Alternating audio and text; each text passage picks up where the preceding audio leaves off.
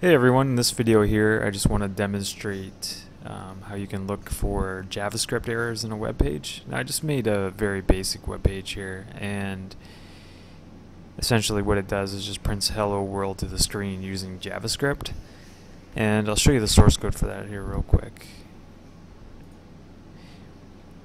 That's all it is there. Of course I'm missing doc types and the proper HTML tags but this is just a very simple script that just uh, echoes hello world to the screen as you can see here.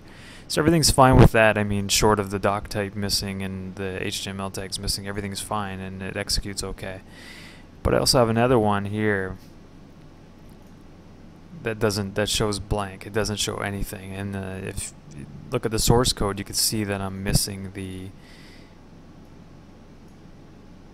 the quote, the double quote there after the exclamation mark. So that's why nothing is being put to the screen. So now I can to determine what the error is.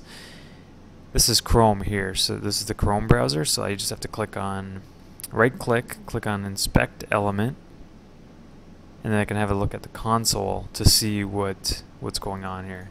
So I can analyze that error uh, to determine what's going on with this with this page. And in a similar way with uh, Internet Explorer, for example, with Internet Explorer to get to the console, I just have to press F12 on my keyboard. And it should be at HTML by default. You click over to console.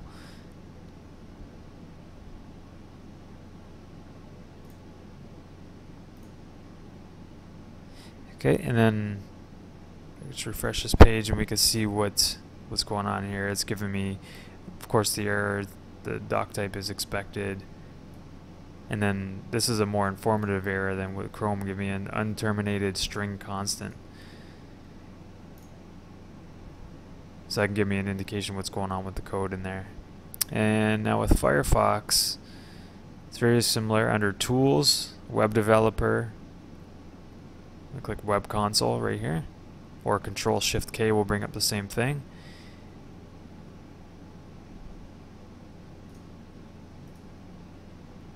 And then I could see what's going on. Um, unterminated string literal. And that's it. So if you're getting this, uh, any kind of JavaScript errors with um, with your WordPress site, it's a good idea to to determine whether whether or not it's a theme or a plugin that's causing the problem. And the first thing you want you might want to check, you can log into your dashboard here. And let's to eliminate the theme as the issue for the uh, for the error, we can head over to um, Appearance and go to Themes, and then just reactivate the uh, 2011 or 2012 theme, whatever the default theme is that you want for WordPress. Just activate one of those because you could be sure that they're not causing any of the JavaScript problems. Um, and it may be just the, the theme that you happen to be working with. So you can activate um, one of those themes and then go back to the page that has the error, refresh it, and then clear the console and um, look again at the console and see if the error disappears. And if it does, clearly it's an issue with the theme. And similar with uh, with plugins, um, won't be as easy with plugins. You take a look at all the installed plugins that you have. What I tend to do, I only have one plugin installed here, but what I tend to do is deactivate all plugins and then I test one by one. I'll activate one at a time and then I could see where the conflict arises um, that way. I just have to keep clearing the console and refreshing the page as I activate each plugin just to make sure.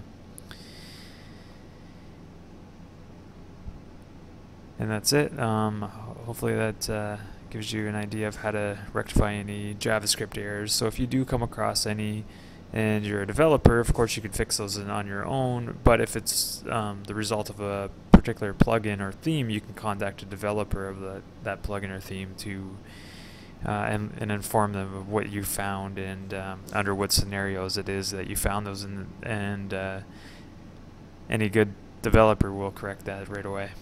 Alright, thanks for watching. Have a great day.